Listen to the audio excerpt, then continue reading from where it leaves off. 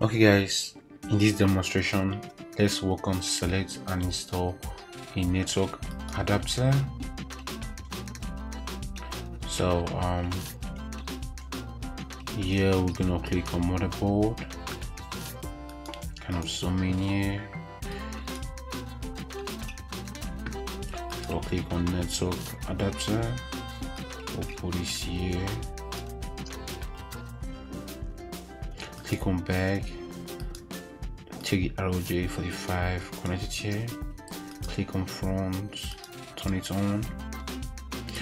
Now we're gonna ping to the local service IP address 192.168.0.10 so here you write PowerShell